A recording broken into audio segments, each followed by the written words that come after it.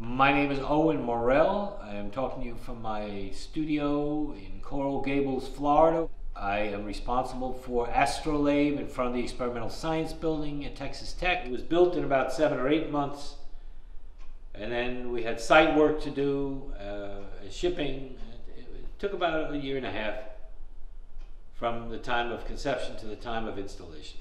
Uh, we decided the best way to build the piece was to use a solid two inch thick aluminum and to laminate stainless steel mirrors onto the uh, aluminum. Uh, Astrolabe is loosely based on the form of a primitive navigational device which was used many centuries ago uh, by navigators at sea. Astrolabe uh, introduces the idea that my pieces are about navigating. They're about navigating the act of perception.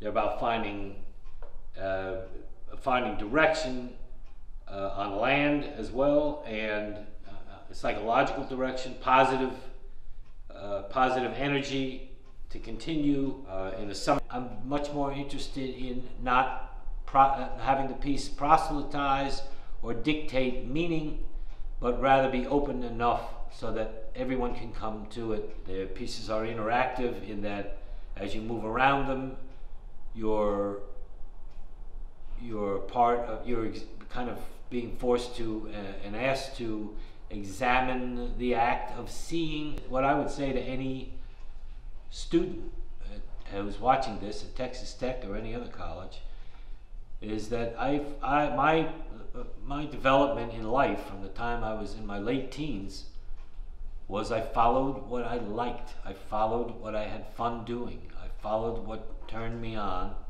and what I felt the most the most comfortable with.